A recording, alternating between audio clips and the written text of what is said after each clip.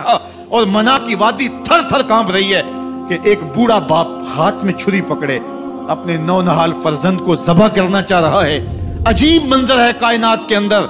हज़रत इब्राहिम आगे बढ़े, बेटे की गर्दन पे छुरी रखी और पूरी कुव्वत के साथ छुरी को जुम्बश दी। अल्लाह अकबर, लेकिन एक बाल भी निकला पास पड़े पत्थर पर छुरी को मारा। लेमा तक तैयार सिक्कीन छुरी काटती क्यों नहीं? छुरी ने आवाज़ दिया खलीलो या मुरुनी, बल जलीलो यनहाल खलील मुझे काटने का कहता है, रब्बे जलील कहता है, खबरदार एक बाल भी काटा। कहा, छुरी, तेरा काम तो काटना होता है। कहा, हज़रत, आग का काम भी तो जलाना था। जिसने आग को जलाने से रोका था, आज उसने मुझे काटने से रोक दिया। इसका ये मफहूम भी निकाला जा सकता था कि मैंने तो छुरी चला दी। अब छुरी ने कुछ नहीं किया तो मेरा क्या कुछ अल्लाह अकबर, दोबारा छुरी तेज की और हलक पर छुरी की नोक रखी और अपना सारा वज़न डाल दिया।